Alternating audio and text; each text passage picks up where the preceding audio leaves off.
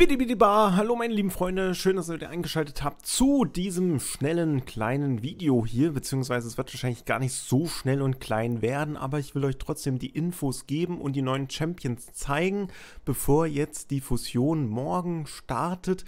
Da werde ich natürlich nochmal über die Termine und den Fusionsplaner drüber gehen. Also den Fusionsplaner werde ich natürlich trotzdem ab updaten, aber es gibt auch neue Infos zur Fusion. Vielleicht habt ihr es auch schon gehört und ich bin ehrlich, ich finde es vielleicht gar nicht so schlecht. Es kommt jetzt drauf an, was sie daraus machen im Endeffekt. Von daher gucken wir mal rein, was sie uns hier heute kurz vor der Fusion mitgeteilt haben. Denn es gibt Änderungen an der Art, wie diese Fusion stattfinden wird.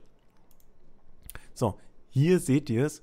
Ähm, das ist der Eintrag von Banana Jam, Content Creator äh, Manager sozusagen hier mit bei uns. Und natürlich, es wird wieder so sein, dass man pro Knie fusionieren kann aus vier epischen Champions, aber diese epischen Champions, die werden nur aus Fragmenten erhältlich sein. Das heißt also quasi, wir haben jetzt eine Mischung aus der Klassikfusion zusätzlich zur Fragmentfusion. Äh, Im Endeffekt sparen wir uns sozusagen das Hochleveln der seltenen Champions, das Aufsteigen lassen der seltenen Champions und kriegen gleich alle vier epischen oder haben die Chance, alle vier epischen zu bekommen, müssen die natürlich noch leveln, müssen die noch mit Tränken versorgen. Welche epischen das sind, sehen wir gleich noch. Aber die müssen wir aus Fusion bzw. Fusionsfragmenten erfarmen aus den verschiedenen Events. Leider wissen wir erst morgen, wie viele Fragmente es jeweils immer gibt. Aber was wir ja wissen, habt ihr ja auch im Video schon gesehen, dass wir den Fusionsplaner haben, dass wir immer ungefähr wissen, was könnten jetzt für Sachen drankommen. Also das wird natürlich dann morgen wieder geupdatet für ProKnie, sobald ich weiß, wie die Termine sind und Zeit habe, das zu ergänzen. Und hier werde ich dann auch reinschreiben, natürlich, wie viele Fragmente, wie viele Punkte werden wir benötigen, um die einzelnen Fragmente zu bekommen. Also das werde ich dann auf jeden Fall auch noch ergänzen hier mit in der Tabelle.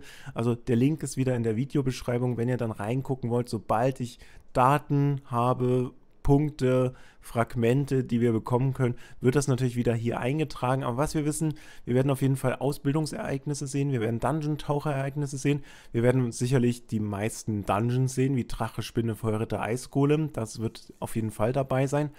Dann äh, Champion Training wird dabei sein, denke ich mal. Beschwörungsrausch und Champion Jagd sind ja immer dabei, deswegen müssen wir auf jeden Fall damit rechnen, dass wir ja unsere Splitter brauchen werden.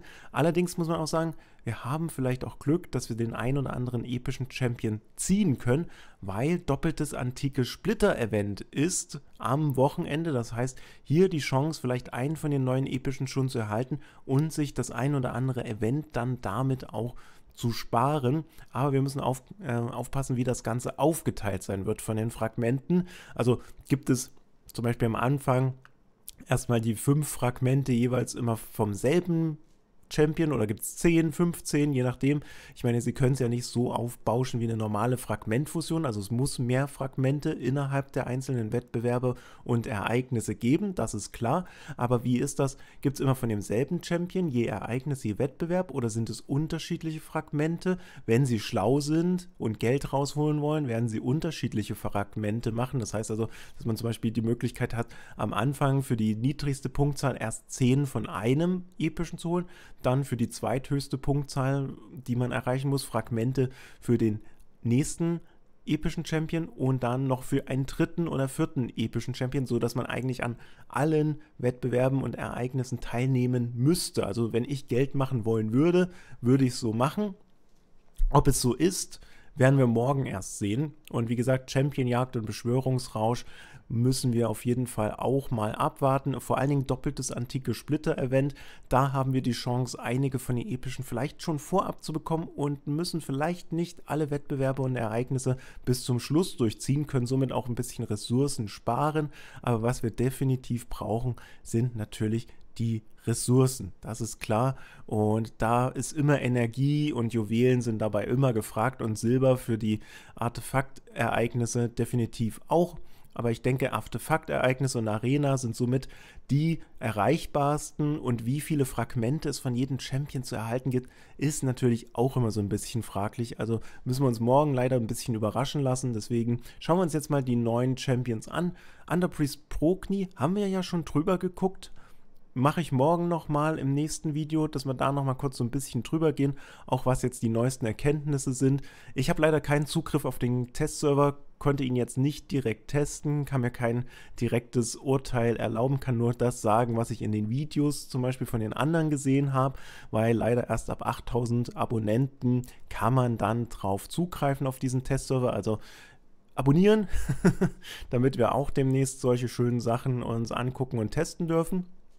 Ansonsten, es gibt eine neue Shadowkin, eine neue legendäre Shadowkin. Muss fast sagen, wäre auch eine Möglichkeit gewesen für die Fusion natürlich, aber ich muss sagen, Underpriest Brokni gefällt mir irgendwie schon so ein bisschen besser als sie. Aber was sind ihre Skills? Greift einen Gegner an, setzt einen 15% Dauerheilungsbuff auf einen Verbündeten mit den wenigsten Lebenspunkten und auch noch einen 7,5 Dauerheilungsbuff auf alle anderen Verbündeten, die 30% LP oder weniger haben. Also hier auf jeden Fall eine Heilfähigkeit auf der A1. Das heißt, wir können durchaus immer Dauerheilungsbuff haben, zum Beispiel mit Gegenangriff, Verbündetenangriff, sowas würde sich das hier natürlich anbieten.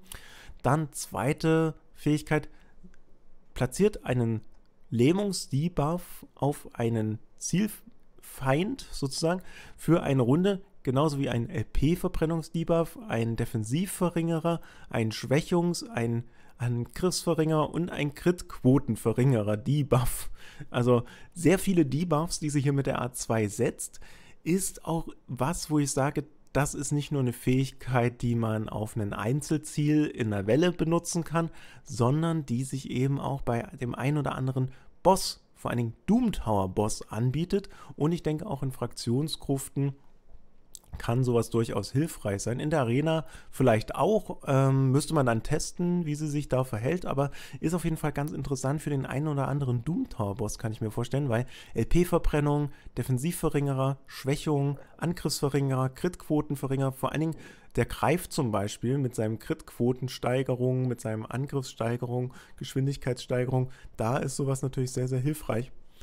Perfect Body, ja, perfekter Körper in einem perfekten Geist, entfernt alle Debuffs von allen Verbündeten und setzt dann einen Blocke Debuffs Buff auf sie für zwei Runden, heilt außerdem alle Verbündeten um 35% ihrer maximalen LP und äh, 5% weiter für jeden Debuff, der von ihnen entfernt wird. Also auch sehr viel Heilung hier. Erster Skill mit Heilung, A3 mit Heilung, also ziemlich nett. Wenn sie, also es ist ein passiver Skill, wenn sie einen Debuff bekommt, transferiert sie ihn sofort zurück von diesem Champion auf den Angreifer oder mehrere Debuffs sogar. Ja, das hat eine Abklingzeit von drei Runden und es kann keine Debuffs rüber transferieren, die nicht entfernt werden können. Also von daher, das ist schon mal eine ganz coole Fähigkeit, vor allen Dingen als passive Fähigkeit, dass man diese Debuffs wieder zurückwirft. Deswegen auch, wie gesagt, beim Greifen der vielleicht die Debuffs von uns auf uns zurückwirft und wir werfen dann einfach unsere Debuffs wieder zurück auf den Greifen. Das äh, ist hier, denke ich mal, eine ganz coole Strategie auch für den Greifen. Und dann steigert die Angriffe aller Verbündeten in den Fraktionsgruften um 42%, wobei 42% echt eine gute Aura ist. Dann haben wir Fenshi, auch wieder Shadowkin. Greift einen Gegner dreimal an. Jeder Treffer hat eine 30-prozentige Chance, einen 30% Geschwindigkeitsverringerungsdebuff zu verleihen. Geschwindigkeitsverringerer auf der 1 auf jeden Fall schon mal nicht schlecht. Ähm, lässt sich auch die Chance noch ein bisschen steigern. Also ich denke, mit der gesteigerten Chance sollte es eigentlich relativ sicher sein, dass er einen verleiht, dann mit genug Genauigkeit. A2 greift ein Gegner dreimal an, jeder Treffer hat eine 50-prozentige Chance das Rundenmeter des Ziels um 15% zu verringern. Das heißt also 3 mal 15 sind wir bei 45. Hoffe, das war jetzt richtig. Ähm, das bedeutet also um 45%. Ist auch ganz gut bei Champions oder bei Bossen, die auf diese Rundenmeterverringerung so kritisch reagieren. Das könnte bei dem einen oder anderen Boss auch im Doom Tower hilfreich sein, dieses Rundenmeter mit drei Schlägen zu reduzieren, so dass er es nicht auf einmal macht, sozusagen, diese 45 Prozent, sondern jeweils mit jedem Treffer nochmal macht, dass nicht so viel Schaden vielleicht bei dem einen oder anderen Doom Tower Boss entsteht, dass nicht so krasse Skills ausgelöst werden, wie das ja manchmal der Fall ist. Greift ein Gegner zweimal an, jeder Treffer hat eine 5%ige, äh, hat ein, jeder Treffer platziert ein 5% Gift-Debuff auf das Ziel für drei Runden ignoriert 10% der Defensive des Ziels für jeden Gift-Debuff auf dem Ziel. Also das heißt quasi, wir können auf jeden Fall mindestens zwei Gift-Debuffs setzen und können dann dafür noch die Defensive ignorieren. Deswegen, wie gesagt, auch Boss-Skill-mäßig ziemlich nice. Nicht nur für Dungeon-Bosse, auch für Doom Tower-Bosse. Vielleicht sogar so ein bisschen für den Clan-Boss, aber ich würde eher ihn bei Dungeon-Bossen und Doom Tower-Bossen einordnen, wegen dem Geschwindigkeitsringer. Für den Clan-Boss hat er jetzt außer dem Gift nicht viel zu bieten, deswegen eher für die anderen Bosse geeignet. Chris-Guard war so ein bisschen broken, also der war etwas overpowered. Den haben sie noch mal ein bisschen angepasst, bevor sie ihn morgen auf uns loslassen. Also wenn ihr die Videos zu Giscard schon gesehen habt, da wird es ein paar oder da gab es ein paar Anpassungen und die können wir auch gleich sehen. Das betrifft vor allen Dingen seine Art 2 mit dem Provozieren, weil das hätte ihn zu, zu stark gemacht, vor allen Dingen für einen epischen Champion. A1 greift ein Gegner an, hat eine 50-prozentige Chance, einen Angriffsverringerer zu verleihen. Dann A2 greift alle Gegner an, hat eine 50-prozentige Chance, einen Provozieren-Debuff zu verleihen. Und außerdem setzt er einen Schild-Buff auf sich selber, der 25% seiner maximalen LP entspricht. Er ist ein defensiver Champion, weiß nicht, was seine Ausgangs-LP sein werden. Also da können wir auf jeden Fall noch gespannt sein. Müsste man nochmal in die Videos reingucken. Ob das am Ende natürlich trotzdem noch so ist, ist wieder eine andere Frage.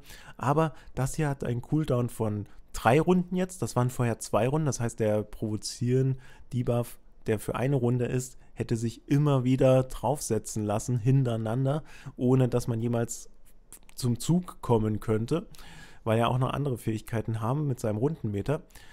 Dann setzt er auf seiner A3 einen Defensivsteigerer-Buff und einen Angriffssteigerer-Buff auf alle Verbündeten für zwei Runden. Hat dann noch diese passive Fähigkeit, füllt das Rundenmeter dieses Champions um 15%, wann immer er angegriffen wird bei einem Gegner, der unter einem Provozieren-Debuff oder einem Angriffssteigerer-Buff beziehungsweise einem Angriffsverringerungs- Buff und Debuff unterliegt. Die haben sie, glaube ich, einen kleinen Fehler eingebaut. Aber auf jeden Fall steigert er seinen Rundenmeter nochmal um 15. Das haben sie auch ein bisschen runtergeschraubt. Das war erst höher. Das heißt, er wäre halt immer wieder zum Zug gekommen und hätte immer wieder provozieren können mit dieser äh, Zweier-Rundenmeter-Zahl, also mit der Runde mit zwei Runden Abklingzeit statt drei Runden wäre er halt immer wieder dran gewesen, hätte immer wieder provozieren können und die Gegner wären gar nicht mehr aus dem Provozieren rausgekommen und das hätte ihn ziemlich OP gemacht auf jeden Fall dann und das haben sie jetzt so ein bisschen reduziert. Außerdem hat er nach einer Aura erhöht die Defensive von allen Verbündeten in den Fraktionsgruften um 27%. Dann haben wir Demon Spawn, Skimphos, The Consumed sieht auf jeden Fall ziemlich nice aus. Äh, man sieht auch dieses, diese eine Gesichtshälfte, die er jetzt hier hat, ist auch so ein bisschen bei ihr so. Also die beiden haben so Ähnlichkeiten irgendwie gerade, obwohl der eine Shadowkin ist und der eine Dämonenbrut, äh, haben sie sich da von beiden so ein bisschen inspirieren lassen scheinbar. Greift ein Gegner zweimal an, die, der erste Treffer hat eine 35-prozentige Chance, einen, äh, einen Geschwindigkeitsverringerer-Debuff zu verleihen. Der zweite Treffer hat eine 35-prozentige Chance, das Rundenmeter des Ziels um 10% zu senken. Dann A2 greift alle Gegner an, hat eine 75-prozentige Chance, den äh, Angriffsverringerungsdebuff zu verleihen für zwei Runden. Nach dem Angriff transferiert er alle Debuffs außer Stun, Frost, Schlaf, Wang, Angst, wahre Angst und Provozieren von allen Verbündeten auf diesen Champion. Also das heißt, wir können quasi sehr viele Debuffs transferieren, aber auch einige wichtige Debuffs nicht. Äh, bisschen schade natürlich, aber verständlich, warum. Ähm, sonst könnte man auch gleich sagen, er entfernt alle Debuffs. So hat man natürlich noch so ein bisschen eine Einschränkung auf okay, er kriegt jetzt alle Geschwindigkeitsverringerer, alle Defensivverringer, Schwächungen und so weiter und so fort, geht halt alles auf ihn drauf. So, dann die A3. Transferiert alle Debuffs von diesem Champion auf ein Ziel, auf ein Zielfeind, greift dann das Ziel an, stiehlt 100% des Rundenmeters des Ziels, wenn dieser Angriff kritisch trifft. Und das spielt natürlich mit seiner A2 so ein bisschen zusammen. Quasi er zieht erstmal alle Debuffs weg, die jetzt nicht Stun, Freeze und so weiter sind, und gibt sie dann mit seiner A3 auf ein anderes Ziel wieder und verringert noch das Rundenmeter dieses Ziels. Und das, denke ich mal, ist auch ein ziemlich cooler, starker Arena-Skill. Ich meine, er ist ein Attack- ein Angriffs-Champion, Attack-Type wollte ich jetzt gerade sagen, aber er ist ein Angriffs-Champion und das heißt natürlich, er ist etwas fragil wahrscheinlich. Ist also schwierig zu sagen, ähm, er kriegt jetzt alle Debuffs, wird dann vielleicht nochmal angegriffen, wenn er Defensivverringer und Schwächung drauf hat. Kann ich mir schwierig vorstellen. Müsste man gucken, wie man ihn am besten baut, dass er nicht gleich mit dem ersten Treffer umfällt dann. Äh, passiver Skill, halt diesen Champion um 5% der maximalen LP für jeden Debuff auf ihn äh, am Start jeder Runde. Wenn dieser Champion unter 4 oder mehr Debuffs steht, äh, setze einen 50% Angriffssteigerer-Buff, einen 30% Crit-Damage-Steiger-Buff auf diesen Champion für zwei Runden. Also er kriegt sozusagen nicht nur die Debuffs alle ab, er setzt sich selber auch einen Angriffssteigerer und einen Crit-Damage-Steigerer-Buff nochmal drauf. Und er hat noch eine Aura, erhöht, die an, erhöht den Angriffswert im Doom Tower für alle Verbündeten um 30%. So, dann haben wir hier Mordecai vom Heiligen Orden. Auch sehr interessant, hier komplett verhülltes Gesicht. Greift einen Gegner an, hat eine 30-prozentige Chance, das Rundenmeter des Ziels um 10% zu verringern, hat eine 60-prozentige Chance stattdessen, wenn das Ziel unter einem LP-Verbrennungsdebuff sich befindet. Also das heißt, wenn das Ziel unter einem LP-Verbrennungsdebuff ist, steigt seine Chance auf 60% an, kann nochmal erhöht werden um 15%. Von daher spielt das vielleicht auch so ein bisschen mit dem LP-Verbrennungsdebuff von unserer legendären weiter oben zusammen. A2 hat eine 75-prozentige Chance, das Rundenmeter aller Feinde um 15% zu verringern, füllt das Rundenmeter aller Verbündeten um 15%. Also wir verringern und füllen quasi gleichzeitig, was immer ein sehr guter Skill an sich ist. Vier Runden Abklingzeit lässt sich auf drei Runden runter reduzieren. Erinnert mich so ein bisschen äh, an Lysandras Skill, die ja auch das Rundenmeter reduziert und unser Rundenmeter steigert. Hat eine 75-prozentige Chance, einen LP-Verbrennungsdebuff auf alle Feinde zu setzen. Spielt mit seiner A1 natürlich super zusammen.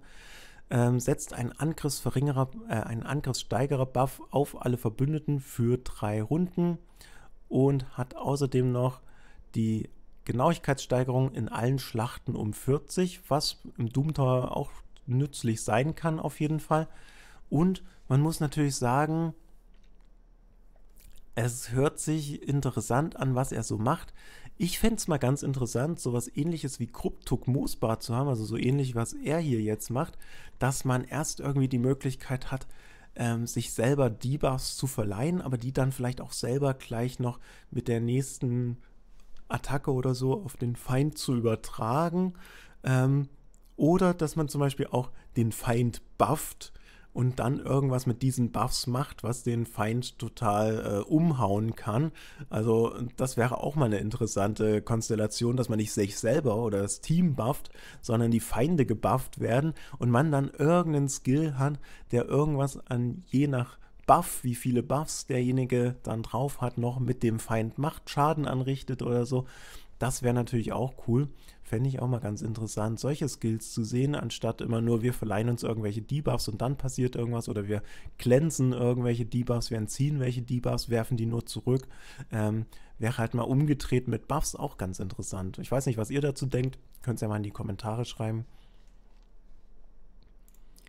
Also wir sehen, wir haben eine andere Fusion als die, die wir sonst haben mit Fragmenten, aber das muss nicht unbedingt schlecht sein. Also ich weiß auch, dass es immer viele Leute gibt, die sagen, wir finden diese Fragmentfusionen besser als die normalen Klassikfusionen. wenn wir nach den Fragmenten eben gehen und uns diese holen. Also von daher schon mal ganz interessant zu sehen, dass sie es jetzt so mixen weil ich sage mal so, man konnte sich ja so ein bisschen drauf einstellen, aber es ist vielleicht auch immer schlecht von Plarium zu sagen, wir müssen jetzt immer vier neue seltene Champions rausbringen, dann müssen wir noch vier neue epische Champions rausbringen, weil wir wollen ja nicht mehr, dass die Leute ihre alten Champions bunkern, sondern sie sollen ja neue Champions benutzen. Der Nachteil hier dran ist natürlich, wir können zwar die epischen erstmal so bekommen durch die Fragmente, aber die müssen wir dann auch opfern, können sie quasi nicht direkt behalten, es sei denn, wir sagen, okay, wir wollen jetzt den legendär nicht oder wir schaffen den legendär nicht und wir behalten nur den epischen, den wir haben wollen oder die epischen, die wir haben wollen, können ja auch mehrere sein. Also das ist dann schon wieder so ein bisschen ein Nachteil natürlich im Gegensatz zu einer Klassikfusion. Aber an sich kann man das auch positiv sehen, weil wenn ich weiß, ich schaffe zum Beispiel die legendäre Fusion nicht, weil es einfach zu viele Events und so weiter, dann kann ich mich vielleicht einfach darauf konzentrieren, mir den epischen, den ich will oder zwei epische, die ich möchte, zu holen und sage dann, okay, mehr schaffe ich halt nicht, aber das sind halt zwei sehr gute epische Champions, weil mal ganz ehrlich, die Skillsets von den epischen Champions sehen schon ziemlich nice aus, finde ich sehr interessant machen sich sicherlich auch gut. Also bei dem einen oder anderen hat man es schon gesehen, dass sie gut funktionieren. Und deswegen äh, zum Beispiel Mordecai könnte auch bei der Spinne ganz nett funktionieren. Mal schauen. Wir, wir werden sehen, was die Fusion bringt, was die einzelnen Champions machen. Wie gesagt, leider muss ich ja meine dann, wenn ich unseren legendären Champion beschwören möchte, auch opfern, muss halt sehen, dass ich die dann wieder aus Splittern rausbekomme, kann quasi dann auch keinen direkten Guide dazu machen. Klar, wenn ich die habe und Level, aber jetzt jeden extra dann nochmal auf Level 60 zu bringen, auf dem Testserver ist das einfacher, da sind die Ressourcen egal, aber jetzt selber dann zu sagen, okay, jetzt muss ich alle auf Level 60 bringen, um die zu testen, dann muss ich halt wirklich Dupletten ziehen davon oder sowas, da kann ich halt nicht direkt dann Guides daraus machen. Aber ja, vielen Dank fürs Zuschauen, ein Däumchen ist immer ein Träumchen und wir sehen uns hoffentlich beim nächsten Video. Bis dahin, Tschüssikowski!